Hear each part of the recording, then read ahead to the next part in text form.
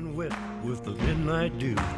I've been down on bended knee, talking to the man from Galilee. He spoke to me with a voice so sweet, I thought I heard the shuffle of angels sweet. He called my name and my heart stood still. When he said, John, go do my will. Go tell that long-tongued liar. Go and tell that midnight rider. Tell the rambler, the gambler, the backbiter. Tell him that God's gonna cut him down. Tell him that God's gonna cut him down. You can run on for a long time. Run on for a long time. Run on for a long time. Sooner or later, gotta cut you down. Sooner or later, gotta cut you down. Well, you may throw your rock, hide your hand, working in the dark against your fellow man. But as sure as God made black and white, what's done in the You know, there's no question um, at Red Cloud Indian School or any of the other schools on the Pine Ridge Indian Reservation, there wasn't a single student who wasn't affected by the alcoholism of one of their family members. And that effect was devastating.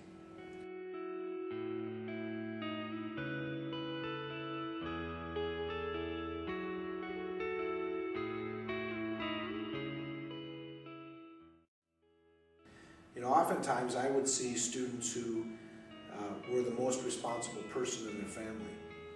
Uh, because a parent was alcoholic, they ended up having to take responsibility for younger siblings. You know, during the time I was a teacher there, there were a number of students who wouldn't do their homework because they had to do childcare.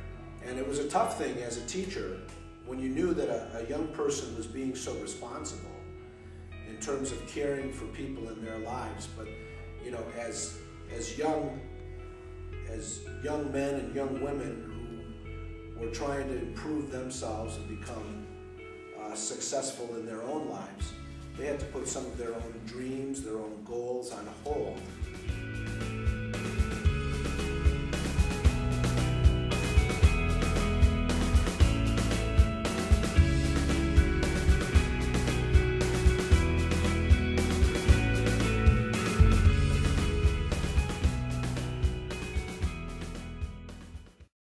Whiteclay, Nebraska is located just a few minutes walk outside of the Pine Ridge Indian Reservation. The town boasts a population of 14 people. Whiteclay has no churches, no schools, and no police force, yet it has four alcohol vendors. Mike's Pioneer Services, the State Line Inn, the Arrowhead Inn, and Jumping Eagle Inn. Each day, 11,000 cans of beer are sold by the four vendors in Whiteclay. Obviously, 14 people cannot consume this much alcohol. So where is the alcohol going? The answer to that question is obvious. The alcohol is illegally finding its way to the Pine Ridge Indian Reservation.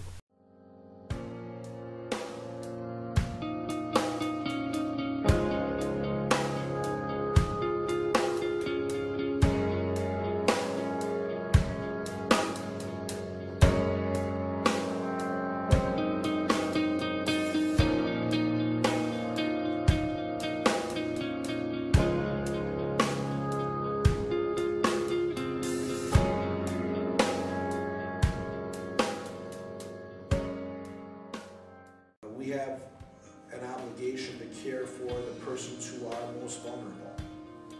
And in this situation, the people of the Pine Ridge Indian Reservation are the vulnerable parties.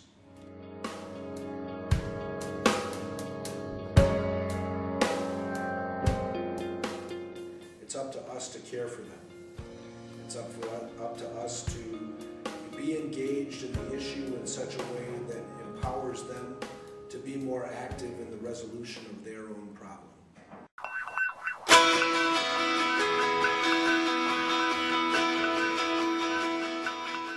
I've been proud of our students for their involvement with this issue. Uh, I certainly side with each and every one of our students who believes that what's happening in those four off-sale liquor stores in Whiteclay, Nebraska, simply stated, it's a predatory practice. Uh, the retailers are preying on the weakness of people on the Pine Ridge Indian Reservation. We have an obligation in the state of Nebraska to make sure that the business activity that occurs in White Clay happens in a, in a legal manner.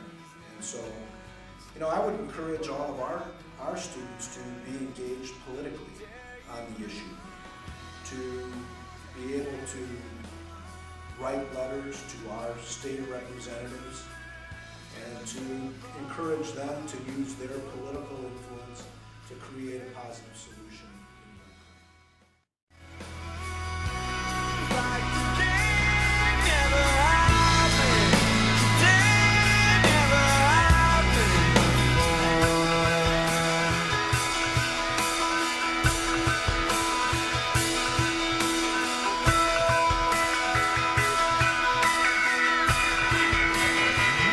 Welcome to the fallout.